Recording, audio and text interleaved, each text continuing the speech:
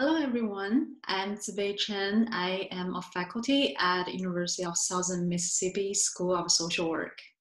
I'm very happy to be here as the FCAB fifth convening, and I hope to see some of old faces and looking forward to meeting new people. So this poster uh, here is about the study I did in the past year, looking at the impact of using payday loans on household current and future financial well-being. So as many of you already know that payday loan is one of the widely used financial alternative financial services in the United States. There are a few studies uh, showed that use of payday loan is associated with increased debt, decreased home ownership, and increased bankruptcy rates. However, uh, the implications of using payday loan have been examined with only a very handful of financial well-being measures. So I am doing this study uh, using a comprehensive framework of financial well-being to look at the impact of using payday loan on household current and future financial well-being. So as you can see in these slides, I have a research question asking the effect of using payday loan on household financial well-being, and I have two hypotheses.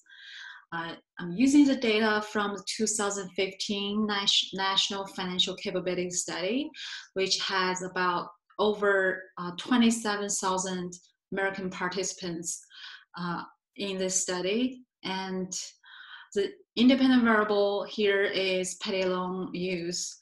And the dependent variable here uh, is measuring financial well-being within two dimensions. So first, I look at the present security, uh, which assess uh, people's ability to pay credit card bill in full, and also assess people's ability to uh, make ends meet. And for future security, I'm looking at um, the, whether people have set aside a rainy day fund that will cover expenses for three months, and also emergency fund that will cope, uh, allows them to cope with emergency that costs around $400.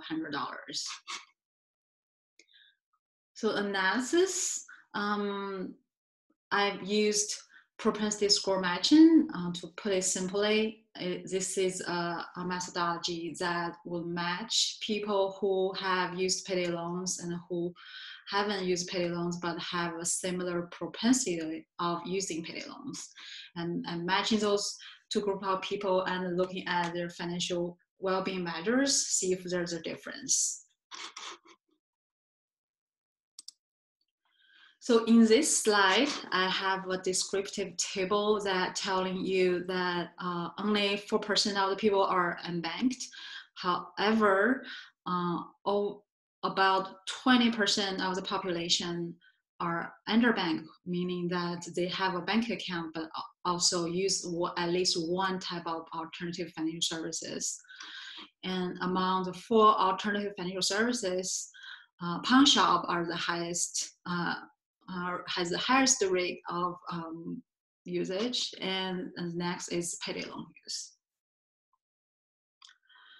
And the table three and four just give you an example of the results that I'm using propensity score matching um, to estimate the impact of uh, using payday loans and paying bills on time, as well as the, uh, having a rainy day fund.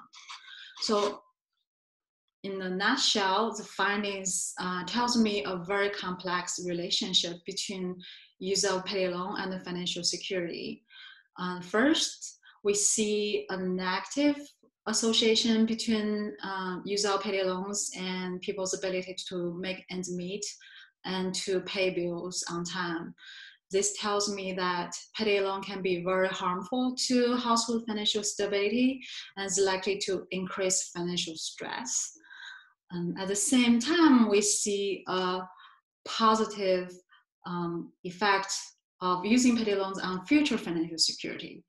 This tells me that people who are using payday loans, payday loans sometimes just use them uh, as a cash flow alternative and they know where to get this cash when they need it uh, for emergency and for those people that payday loans serve as a cash flow alternative, much needed uh, for this group of people who might not have other options.